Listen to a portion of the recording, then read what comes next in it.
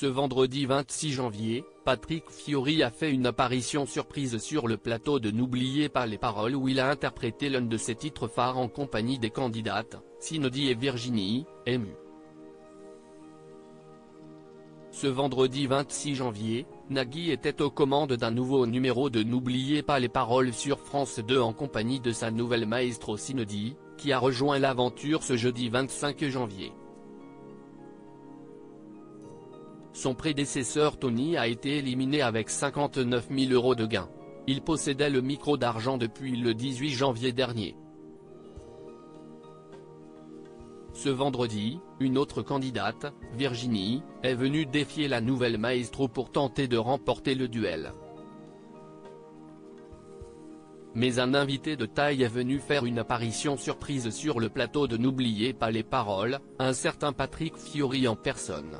Patrick Fiori impressionné par le talent de Cindy et Virginie, vous avez bien chanté alors qu'elles interprétaient toutes deux la chanson de Patrick Fiori intitulée Que tu reviennes, le chanteur a soudainement débarqué sur le plateau au moment du refrain. Les deux candidates, émues et choquées par cette belle surprise, ont pu partager un instant de chant avec l'artiste qui n'a pas été déçu, ça déchire, a-t-il réagi en fin de chanson? Il était déjà venu dans l'émission. Je ne m'y attendais plus, à ce qu'il revienne, a ajouté Nagui, visiblement ravi de revoir le chanteur dont l'un de ses premiers passages dans l'émission remonte à 2009.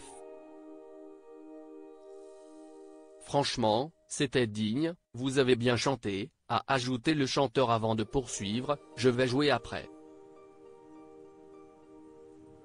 Ce n'est pas l'école des fans, a gentiment taclé Nagui ce qui n'a toutefois pas empêché le chanteur de complimenter l'animateur de Taratata, tu as cette liberté de mettre à cette heure-ci des chansons et de régaler les gens.